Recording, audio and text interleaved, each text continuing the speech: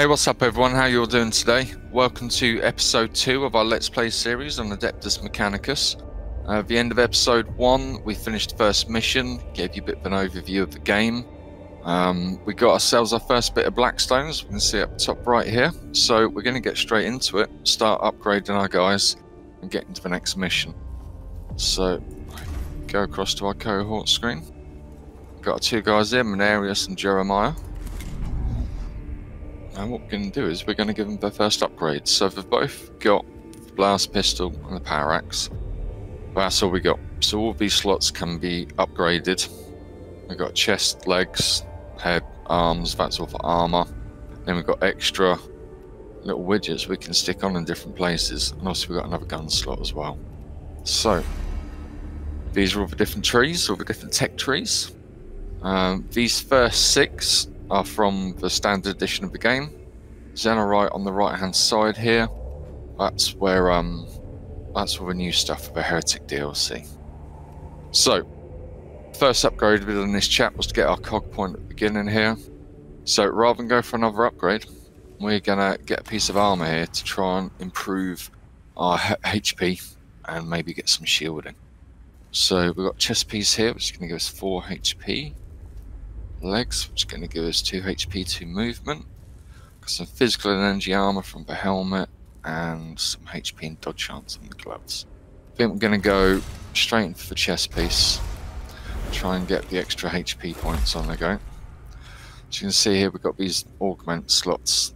All three of them are green at the moment, shows they're all taken. If we unplug that bit of armor, you can see that's now grey. So that lets you know when you've got a, a free slot to use. Uh, we're going to do exactly the same with the next guy. We're not going to give him another one of these upgrades. We're going to get straight in there, try and get some armor. So again, chest piece, 4 HP, 1 physical, 2 HP, 2 movement, 2 energy armor, HP and critical chance. I'm going to go for the chest piece again. And as you notice, they had different stats, and I actually got a visual change.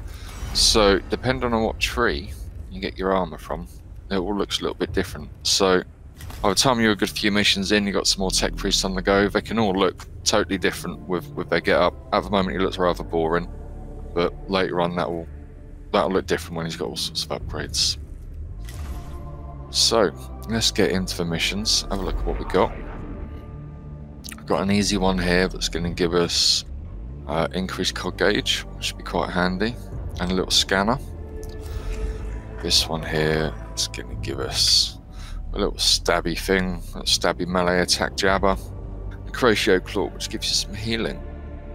Now, they both say they're easy. This one's easy. We've got three different types of enemies. This one's only got one. I think we're going to play the safe card. Do the easy one here.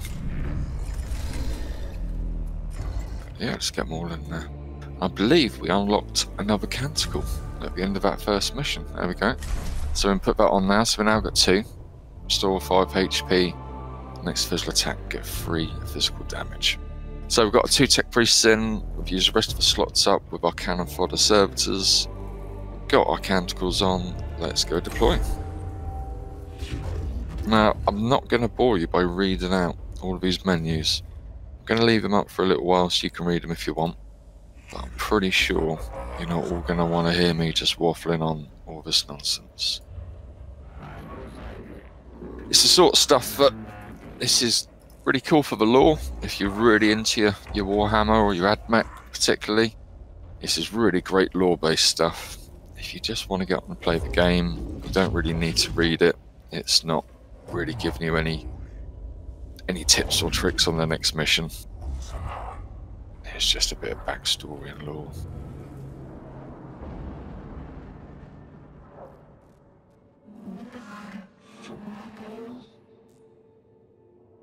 So this mission looks like we're escorting the sensor servitor. Gotta get it into a position. All these missions, it gives you a, an objective. You gotta deploy something or escort something. You, you never see what that objective is. You never see the unit you're escorting or, or deploying.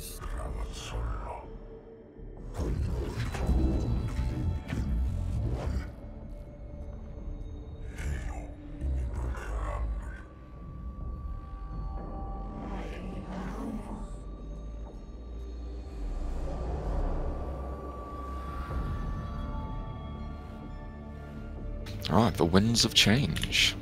So let's just have a little look at the layout here. So we've got a one, a one diamond room, the main mission. We've got a glyph room. Some normal rooms. So let's have a quick count. There's one, two, three. One, two, three. One, two, three. So you always really want to try and take the shortest possible route so you don't get extra awakening levels.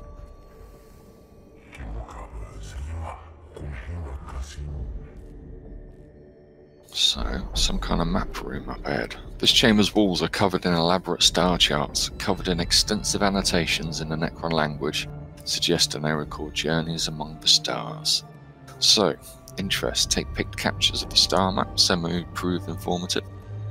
Iconoclasm, destroy them. Our purpose is to purify the tomb, and the works of the aliens should not be suffered to exist. Ignorance, ignore them. The intellectual pursuits of Necrons are no interest to us. We must make haste. So I prefer to try and learn if we can. Hey, Vardex is happy. We're gonna get hey, two cognition points. That's gonna be handy.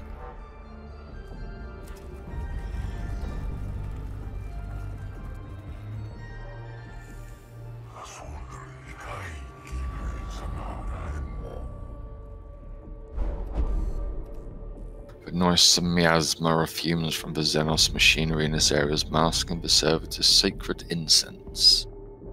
Purge the corruption with prayer, like that ever works. Scour away the corruption with flame. Power through, live with miasma's presence. Nah, let's let's burn it. Let's give it some flames. Ardix is happy does again. He likes a good bit of flame action. So, at this point, we can either go straight in for the battle. I could be cheeky and try and grab some more Blackstone. And I think I'm actually going to be cheeky and just see what we can get off this glyph. We're going to get an extra one on the Awakening level, or an extra two. But we could possibly get some Blackstone. Let's go this one. Oh no, we got some HP that we didn't need. So, after you've already been to a room, if you're coming back to a room you've already been to, you don't actually go up more on the awakening level. So you can retrace your steps, and it doesn't cost you anything.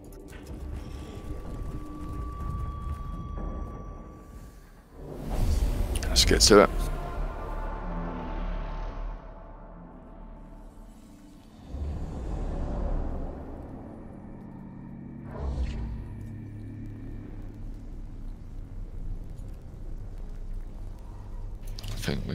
Just the one fodder in. Try and keep our cog points.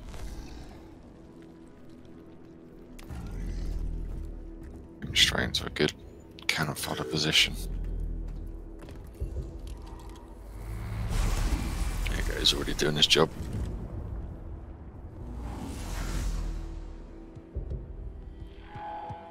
Right, so we are gonna lose one by getting into this spot. I think it's worth to get that early scanning. Can we...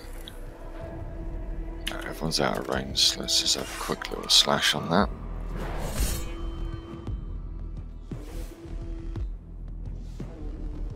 We can move forward after that. I think we're going to hold fire though. We're going to play it safe.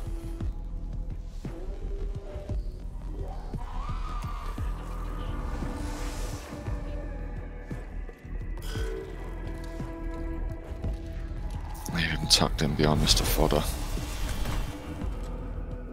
You served its purpose. Good job, Servitor.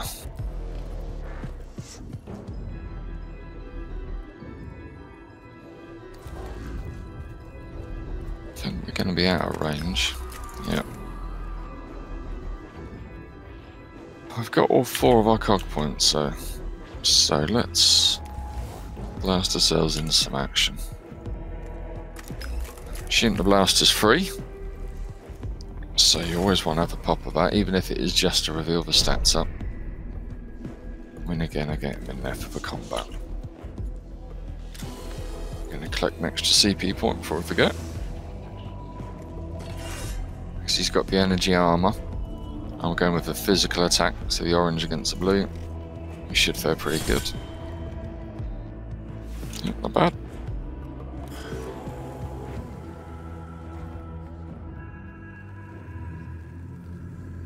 See a cheeky gun barrel sticking out there.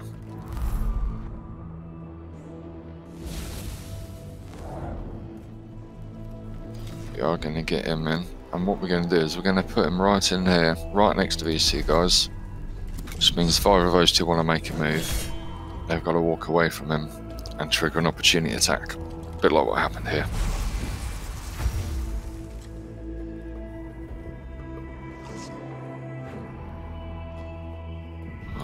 All the way up there into the blue. I think we're going to try and blow that up. And then we're getting with the um, melee attack. So that's going to knock that down. Nice.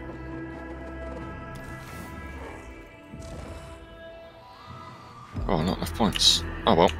So I can't attack him, I use my points up, but both of these two are locked into melee combat, so when either of them try and move, they're going to hit hit by both of us, because you get connected diagonally as well. So that's almost like two free shots on that guy. And the same may happen. Oh, no. You only get one shot the opportunity attack. Every day is a school day.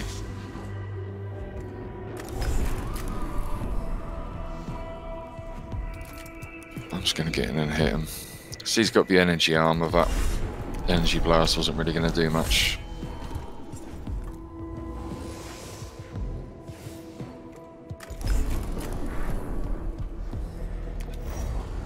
Now, if it was just these three guys on the table, I probably would have left him there. Got him up there to attack these guys, but there is this other one down here that we got to think about. I think we'll get this guy going straight down there, to be honest.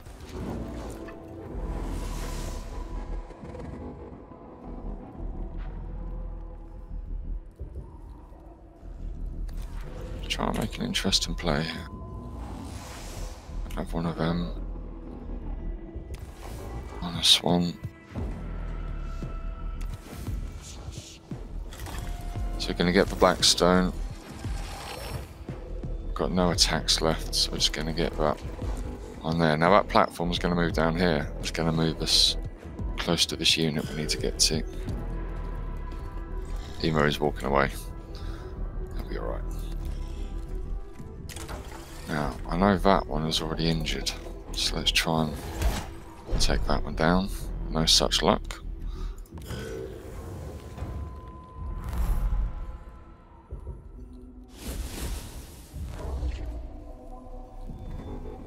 No, we've only got the one.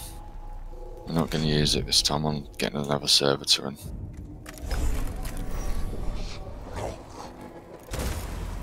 Corey's a tough cookie.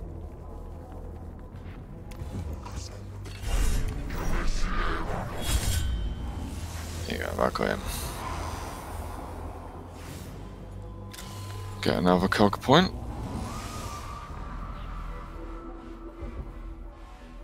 Yeah, just leave him there. In case he tries to move, which he just has.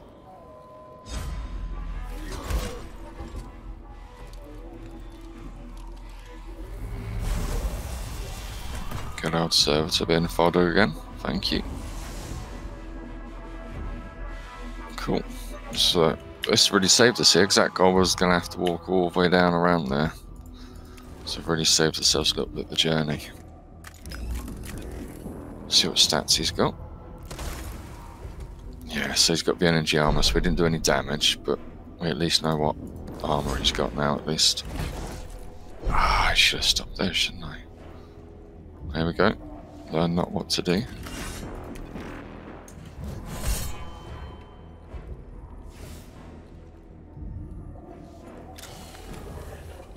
Getting in as many of these cog points as we can now to get the other other tech priest down and in the battle.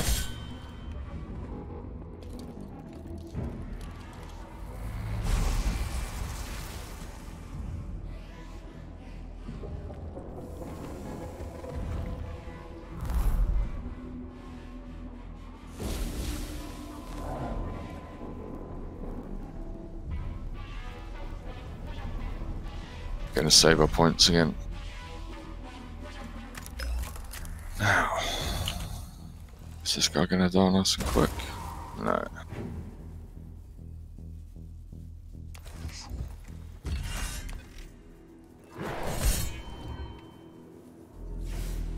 Going to be on him for another turn.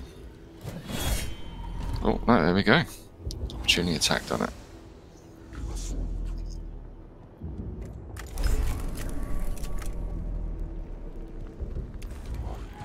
Again, it's not worth wasting the shot on him, even though it's a free shot. It's not going to do any damage. So just get no other axe and chop him up.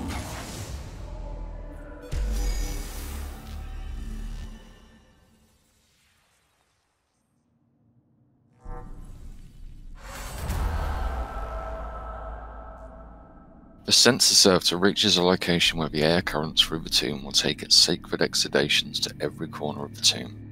The cohort guards it until its incense is fully deployed and can escort it back to the tomb entrance. Pretty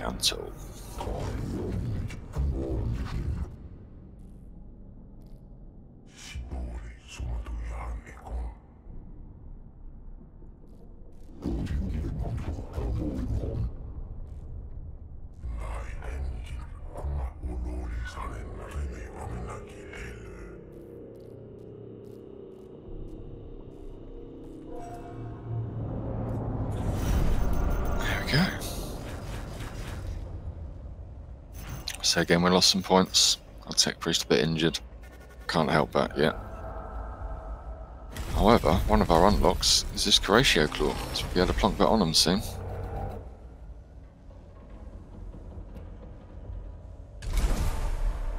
Hey, we've got another canticle. Brilliant. Next physical attack will deal plus 6 physical damage. So that's a little bit of an upgrade on the one we've got already. So there we go, guys. Uh, I think we're going to leave it there because I think if I do another one, it's going to be about another 20 minutes, and you're looking at like a 45 minute video. Don't know if that's sort of thing you guys are going to want to be watching. So we're going to do one mission at a time for now. Um, any comments, criticisms, feedback, much appreciated, guys. Um, we're really new to this, so we're learning every day. Any help and feedback would be really cool. Let us know whether you like for shorter episodes, whether you'd like me to double up on some of the missions, do some longer ones. Um, let us know what you think about Admech. Is it a game you have played, you do play? Do you like it? Do you like the look of it? Let's uh, try and spark some conversation up. Um, in the meantime, take care, everyone. I have, hope you have a good day, and I'll catch you tomorrow for the next one. Take care.